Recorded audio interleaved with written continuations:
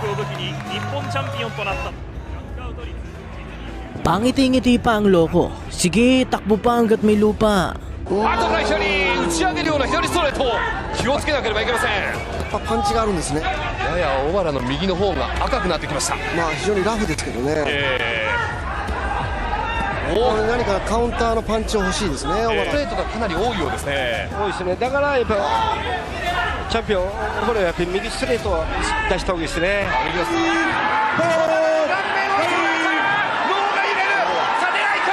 本来負ける相手じゃないし負けるようなあれではないから、まあ、やっぱりリベンジをしたいなとは Isang 23 anyos na Pinoy na kung tawagin ay time bomb ang lumuwas pa pabukid noon upang tumungo sa Japan. Inimbitahan ng ating kababayan upang maging isang challenger sa kanilang boksingero na si Keita Obara. Isang taon pa lamang na maging WBO Asia Pacific Welterweight Champion itong Japanese boxer at tila gusto na nitong makalaban ng isang Pinoy. Nais ng hapon na pahiyain ng ating bagitong Pinoy sa kanyang mismong teritoryo. Dahil grabing pabor na ito sa kalaban bukod sa pagiging dayo, challenger at wala pang masyadong experience ang ating kababayan, ay mismo mga commentator pa at judges sa nasabing laban ay mga kababayan nitong hapon. Mataas ang naging kumpiyansa dahil sa naging former Japanese Super Lightweight Champion at former OPBF Super Lightweight Champion.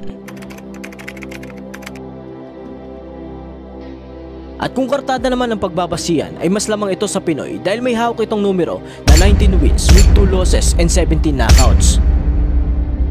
Samantalang ang bagito nating Pinoy ay ito ang kauna-unahang lalaban na hindi Pinoy ang mga nakasuporta at ito rin ang unang pagkakataon na lalaban ng Pinoy sa isang world title fight. Malayo sa kartada ng Hapon dahil meron pa lamang itong numero na hawak na 9 wins with 2 losses and 8 knockouts. on the Philippines. Give it up for Alvin Lagombe!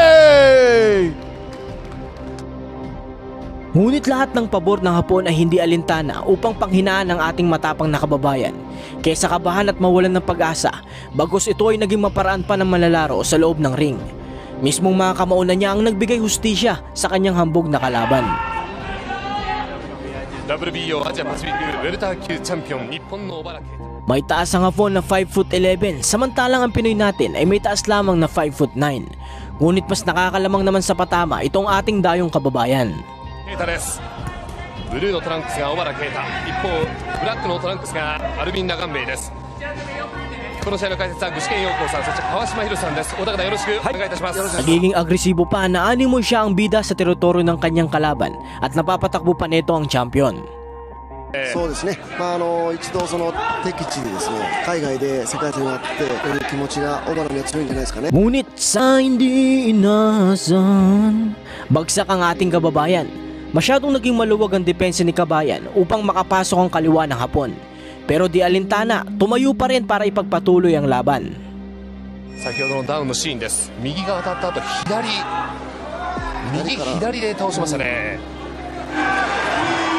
左の姿勢はダウンを奪い取りました小原啓太カウンター気味鮮やかでしたこのまま川島さん狙いますかねうん、狙ってもいいんででしょうね、え まあ、相手の効き具合ですけどね。ー、非常に軽快なフットワークです。状態の良さを示してきました。非常にタイミングがいいパンチでしたね。えー左フックの打ち終わりの左右のカウンターですよね。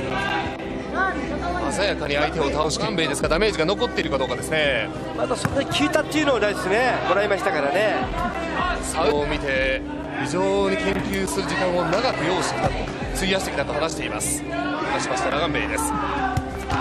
ボディを入れていく。まあ、一発を狙ってますので、小原ね、よく、はい。要注意ですよね、ええそうですね。特にサウスポーですからね、えーここまで11 72.7%というフィリピンのラガンベイです。左。パンチの当て感というのは具志堅さんラガンベイいかがですか？まあ、パンチは大きいんですけどね、あそれであのサスポーの左ストレートがうまいっていうわけでもないんだけど、い。ちょっと大振りはもらわない方がいいですね。危ない、左ストレート、ずるずる下がっちゃうところですね、えー。右側腰が当たりました。ただかなりプレッシャーはラガンベありそうです。標識が鳴ります。あと10秒です。さあ畳みかけるか。パンチが2つ当たった。小原啓太。2018年。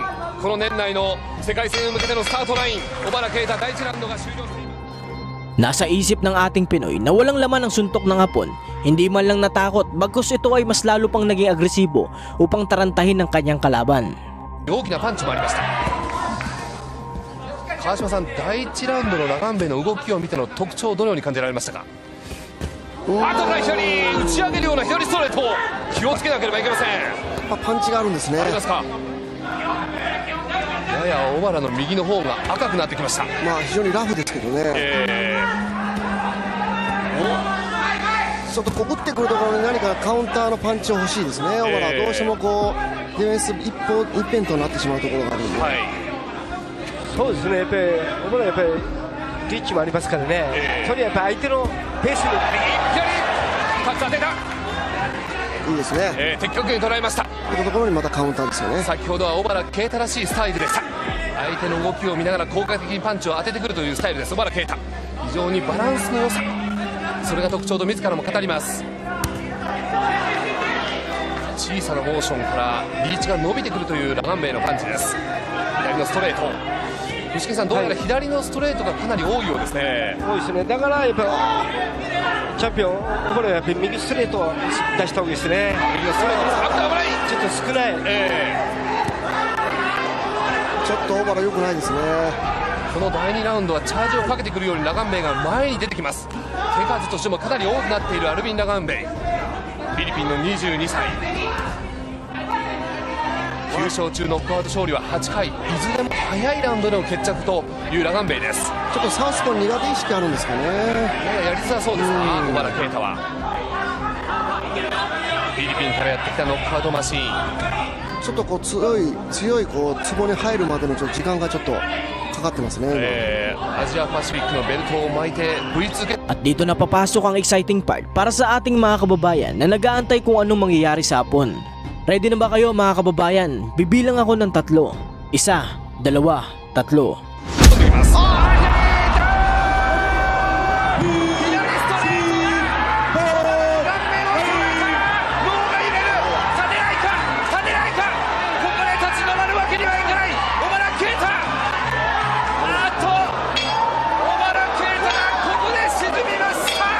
Sa lakas ng suntok ng ating bata ay tila bumalik ang alaala nito na hindi dapat minamaliit ang isang katulad na ganitong Pinoy.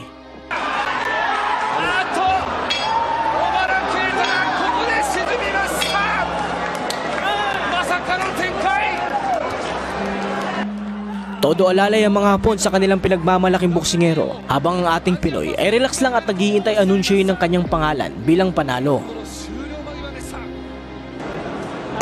の左が小原の顔面を捉えました先ほどのシーンです波乱の展開 Napatunayan na sa pagsalpok ng dalawang kamao ng kampyon at baguhang Pinoy, di hamak na karapat dapat tawaging kampyon ay walang iba kundi ang Pride ng Valencia City Bukidnon na si Alvin Timebam Lagumbay.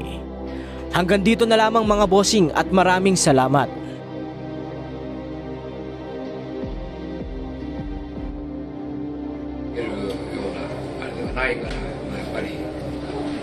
したいなとは思いさせてあげたいなと思いますけど。 Kung isa ka sa mga nagkagusto sa ating tampok ngayon, ay malaya kang kalembangin ng kampana upang makasama kita sa panonood ng mga laban ng ating mga Pinoy boxer.